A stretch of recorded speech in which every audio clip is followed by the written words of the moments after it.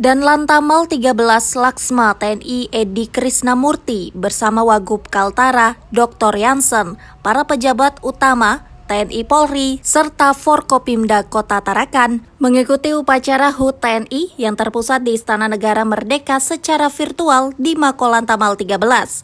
Upacara berlangsung khidmat dengan tetap mendepankan protokol kesehatan COVID-19. Selesai upacara, Wagub Kaltara menyampaikan rasa syukur di usia TNI ke-76 tahun. Terbukti bahwa TNI telah bekerja dengan luar biasa, terutama dalam menjaga keamanan dan stabilitas negara, sehingga bisa melaksanakan pembangunan.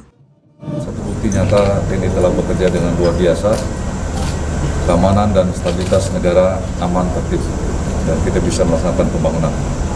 Itu bukti dari TNI kuat untuk menjaga kedaulatan negara di seluruh lini bangsa.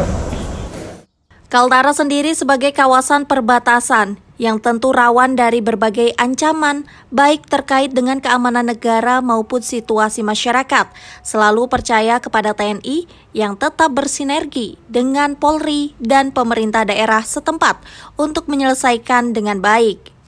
Usai melaksanakan upacara secara virtual, sebagai wujud syukur dilaksanakan pemotongan tumpeng oleh Dan Lantamal 13 dan Dim 0907 Tarakan dan Dan Satrat 225 Tarakan.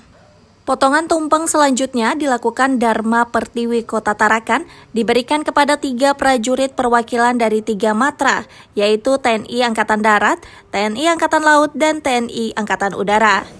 Dari Tarakan, Kalimantan Timur, Mukmin Ajis, iNews melaporkan.